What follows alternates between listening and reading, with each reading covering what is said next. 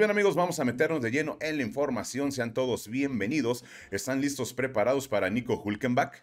Ah, ¿verdad? Vamos a estar platicando del mercado de pilotos porque recuerdan que el día de ayer estuvimos precisamente platicando sobre este asiento que tiene Mick Schumacher que todavía no está arreglado al 100% si es que se iba a quedar sin butaca para la próxima temporada. Pues bueno, uno de los pilotos que sonaba y sonaba y suena todavía es Nico Hulkenberg, al igual que Antonio Giovinazzi. Pero Nico tomó una fuerza muy, muy importante en las últimas horas y esto tiene sentido. Según algunas fuentes, Nico Hulkenberg estaría siendo anunciado en el Gran Premio de Brasil en sustitución de Mick Schumacher. Esto no es oficial ni mucho menos, pero según algunas fuentes ya estaría con un contrato firmado para la próxima temporada correr con el equipo norteamericano. Esto obviamente son malas noticias para el joven piloto alemán, para Mick Schumacher, que no se pudo consolidar dentro de la máxima categoría con algunos choques. De hecho, Hunter Steiner, pues bastante, bastante molesto con él. Jim Haas también dio algunas declaraciones de que perfecto, es un gran piloto, es muy buen piloto, pero sí necesitamos que compense los puntos que trae con los percances que ha tenido con, los, eh, con la destrucción del monoplaza. Y es que Mick Schumacher al momento es de los pilotos, y vamos hablando con números, ¿no? Es de los pilotos que más ha destruido el monoplaza con aproximadamente 3.5 millones de dólares. Es lo que le ha costado eh, Mick a la escudería. Y esto, la verdad, para un equipo que tiene muy poco presupuesto, pues de repente sí te llega a afectar esa situación. En los puntos, como viene en esa temporada? Tiene 12 unidades Mick Schumacher por las 24 que tiene su compañero de equipo Kevin Magnussen. Prácticamente estamos hablando del doble que le saca eh, Magnussen al joven piloto alemán. Algunas personas lo, veían a Mick Schumacher como el que venía a revolucionar la Fórmula 1, que el hijo de la leyenda, que con un gran apellido, y eso no lo podemos negar, un gran, gran apellido que tiene dentro de la máxima categoría, pero le ha costado. La temporada pasada no lo podíamos eh, comparar o no lo podíamos medir porque tenía a Nikita Mazepin como compañero de equipo. Ahora llega Kevin Magnussen y aquí están los números fríos le dobla, le dobla de puntos y ya con un mismo auto. La temporada pasada pues prácticamente estuvo con Nikita Mazepin, no teníamos forma de poderlo valorar.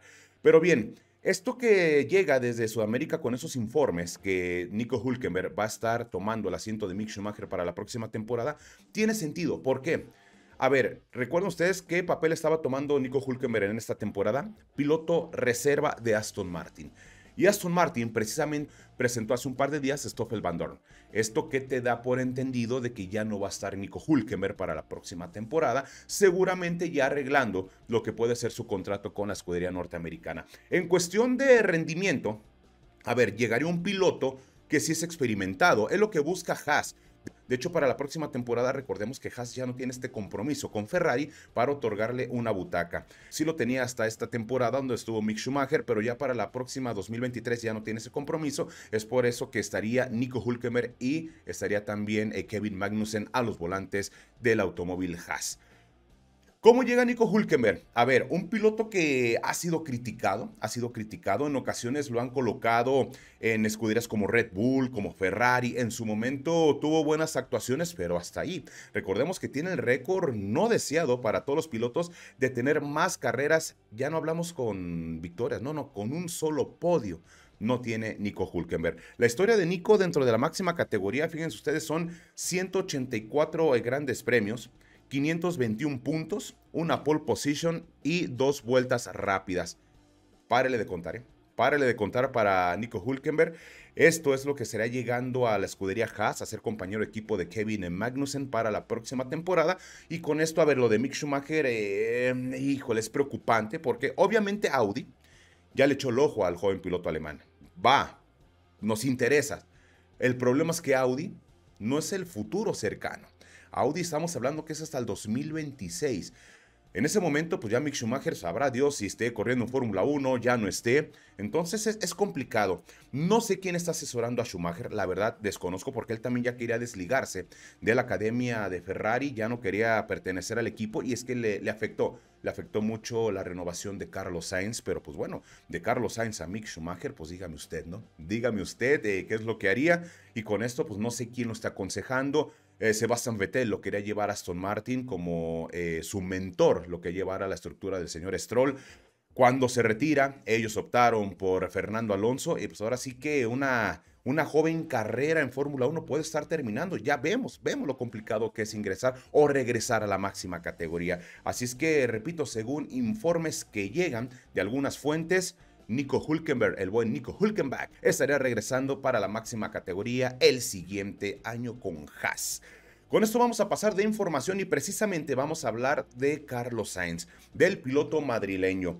Insisto, le, pegó a Mick Schumacher el que Carlos Sainz haya eh, renovado contrato, pero a ver, he escuchado algunas versiones en las cuales dicen, pues bueno, si Schumacher va a quedar libre, pues que le den aire a Carlos Sainz por el desempeño que ha tenido en las últimas carreras y en la temporada en general. Pero yo pregunto, ¿en verdad ha sido una mala temporada para Carlos Sainz esta del 2022?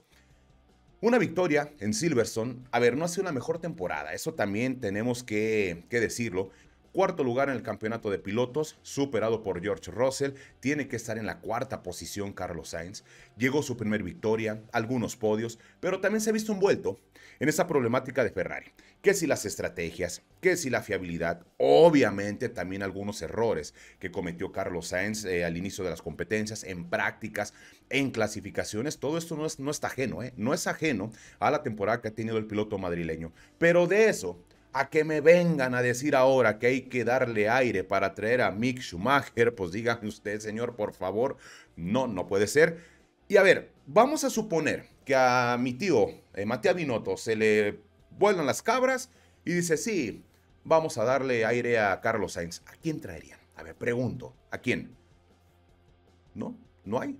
No hay en el momento. Eh, me pueden decir Daniel Ricciardo, va, pero Dan Ricciardo prácticamente ya está asegurado con Mercedes para la próxima temporada para ser el tercer piloto.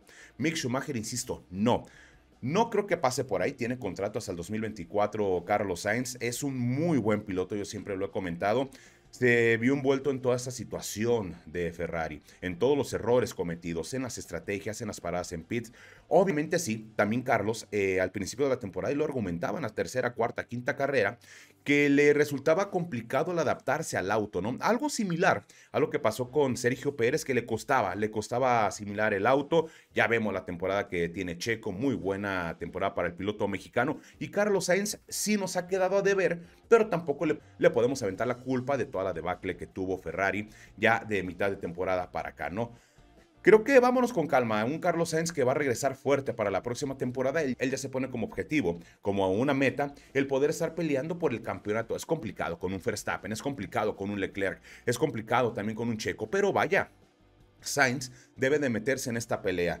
Y es que ya lo comentábamos, ¿no? Se, le metió a George Russell por la pelea en estar ahí ayudando en el campeonato de constructores, que sí lo está ayudando a Ferrari, pero que Mercedes viene creciendo de una manera muy importante. Así es que vámonos con calma para todos esos aficionados que de repente no quieren a Carlos Sainz en Ferrari. Yo les hago esa pregunta, ¿a quién? ¿A quién llevarían? Pero también hay que tener en cuenta una cosa. Ferrari está muy, muy eh, a la mira de todos, de reporteros, de periodistas, de toda la prensa en Italia. Vaya que es un equipo que siempre está en el ojo del huracán. Vamos a pasar, eh, amigos, a la siguiente información y ahora vamos a platicar de Christian Horner, del eh, director de Red Bull, que se encuentra molesto, se encuentra con un malestar, porque, a ver, ya sabemos lo que sucedió con el tope de presupuesto, la sanción que ya quedó. Eso ya quedó y ya está muy hablado. Pero ahora lo que dice Christian Horner es, a ver señores, perfecto, ya nos sancionaron, ya nos pusimos de acuerdo con la FIA y todo quedó de manera muy bien y a todo dar, pero me pregunto, ¿cómo se enteraron los rivales que nos habíamos pasado el tope de presupuesto? ¿Quién filtró esa información? Y es a lo que Christian Horner comenta y dice, a ver, yo exijo a la FIA que se abra una investigación el por qué carajos los rivales ya sabían antes que nosotros que nos habíamos excedido del tope de presupuesto. Obviamente Red Bull estuvo con sus contadores sacando cuentas, cuentas, cuentas, cuentas. Ellos todavía eh, estaban en la creencia de que no, de que estaban bien en el presupuesto, hasta que bueno, ya se comprobó y ya llegaron la sanción, que ya todos sabemos. Pero entonces dice Horner, a ver, pero, pero está bien, pero ¿y cómo se enteraron? O sea, pregunto, ¿y quién les dijo?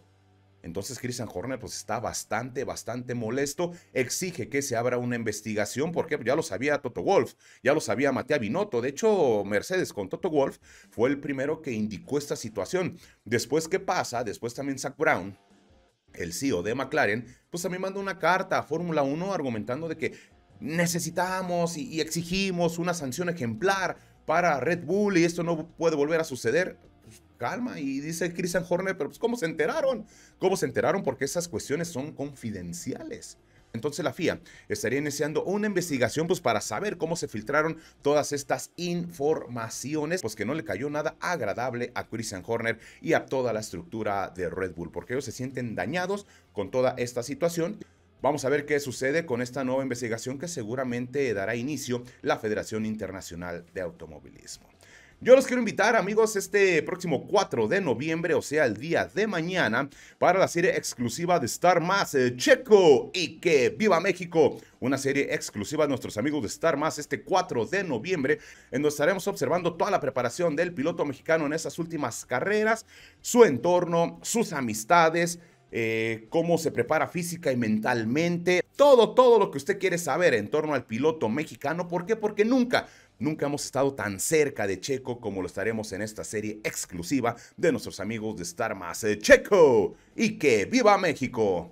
Pues bien amigos, con esto llegamos al final. No se les olvide el suscribirse. Si no se suscribe, ojo, la FIA también va a iniciar una investigación en contra de ustedes. Así es que rápido, rápido, denle al botón de suscribirse y también ya encarrerar al ratón, pues también al de like. Su servidor amigo Ricardo Ponce les agradece el favor de su atención. Y con esto llegamos a la bandera de cuadros. Esto fue Racing Team. Hasta la próxima.